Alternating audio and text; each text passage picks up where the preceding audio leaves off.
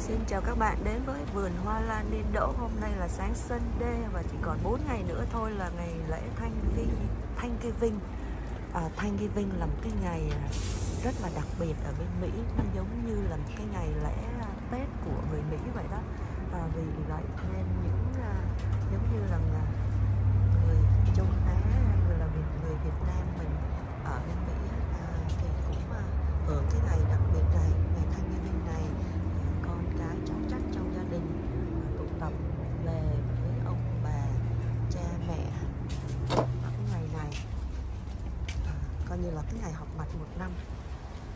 À, đây là vườn hoa ở đây mà sáng nay má Niên cũng ra vườn với lại uh, Christy. Christy giúp má, Mi- má, má Niên à, quay phim lại những cái uh, chậu lan đẹp để chia sẻ với các bạn. À, đây có má Niên chia sẻ đây là má Niên của Christy chia sẻ với các bạn. Đây có một số cái à, đọt nụ hoa lan úc nó sắp nhú ra ồ nó nhú ra chút xíu rồi chắc khoảng được một inch. Đâu má? Wow đây đẹp quá ha. Vậy là cái chậu này à, có bao nhiêu à, đọt nụ vậy má? 10 10 10 đọt nụ. Wow đây là chậu hoa lan Úc. Có 10 đọt nụ rồi. Má nghĩ là khoảng bao lâu thì nó nó, nó ra cái à, cái đọt này nó lớn và nó nở hoa má? 12 tháng.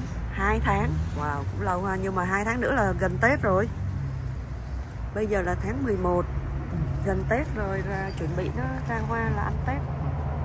Ừ. Wow, đẹp, wow, đẹp lắm. Đây Ồ, đây nè Đó, đọt hoa dễ thương quá ha ừ, Đây đang đọt nữa. Hy vọng là năm nay vườn hoa lan niên đỗ ờ, những cái chậu hoa lan úc sẽ cho ra nhiều đọt hoa và những cái bông hoa rất là xinh đẹp để gửi đến à, quý vị và các bạn thưởng thức hoa lan úc đủ màu hết. Còn đây có cái chậu hoa lan úc mà cái đọt nó ngộ quá hả má? Không ha nó ra hai cái đọt nè.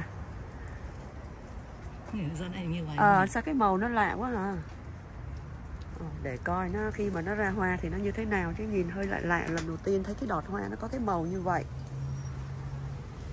Ờ, hoa dàn hoa lan úc của má Niên hôm nay thì cũng không có gì đặc biệt mới.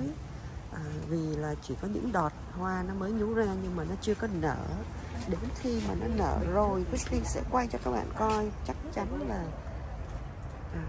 à, hiện- chắc chắn là các bạn có thể là sẽ rất là thích hoa lan úc.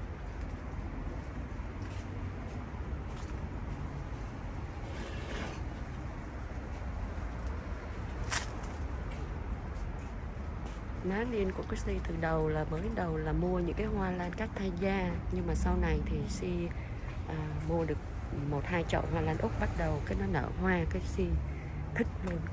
Hôm qua cái à, bắt đầu si sưu tầm qua hoa lan úc. Đây là những chậu hoa lan úc màu tím nha các bạn. Nhưng mà đây là những cái chậu baby thôi. Đây. Nhưng mà giá cũng à, hơi hơi hơi hơi cao. Các bạn biết á, là hoa lan úc thì à, Ờ, rất là dễ chăm sóc. Ờ, và bông thì đẹp và thơm.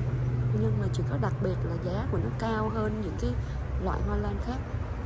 Nhiều vì vậy cho nên nhiều người ngại không có muốn uh, sưu tầm hoa lan úc thôi. Chứ nó rất là đẹp và rất là dễ chăm sóc.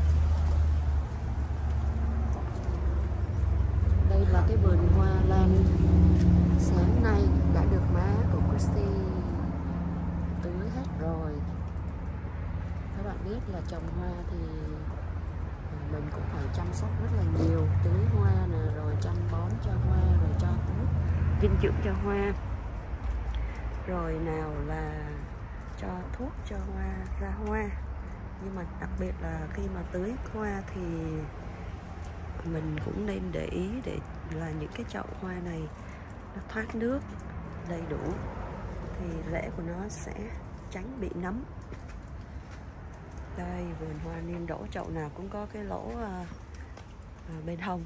Ngoài ra cái lỗ ở dưới đáy nó còn có cái lỗ bên hông để cho nó thoát nước nhiều. Đây.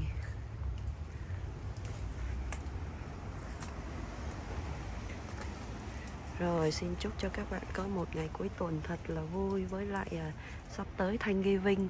À, À, xin các bạn là được có được những cái giây phút rất là hạnh phúc và đầm ấm bên gia đình nhỏ bé của mình.